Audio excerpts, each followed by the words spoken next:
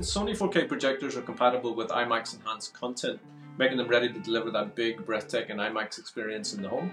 Um, so you've adopted the IMAX ecosystem across all of your product range, um, and even including IMAX enhanced content in your Sony Bravia Core streaming service.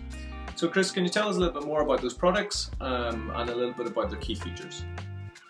Yeah, so uh, from a Sony point of view in general, we have a, a strategy that we call our, our lens to living room strategy. Um, and what this means is that Sony is involved and is quite unique in this respect and uh, is involved in the complete content lifecycle. So that means that we, um, we're one of the few manufacturers, or in fact the only manufacturer that maybe has a, a major Hollywood studio in Sony Pictures. But also we um, we also manufacture cinematography cameras. We also uh, manufacture grading monitors. All of these are used within those major studios, within other content creators' um, workflows.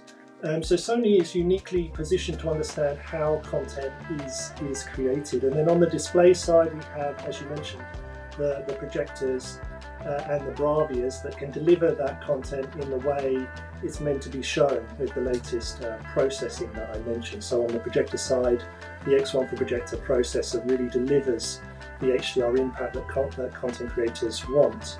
Um, and on the Bravia side, we also, with our XR Bravias, we have the Bravia Core um, streaming service, which offers the highest fidelity streaming uh, content available and with that, we have yeah the IMAX enhanced uh, content uh, playable within that ecosystem as well. So you'll be able to enjoy on our most premium uh, Bravia displays the IMAX enhanced content.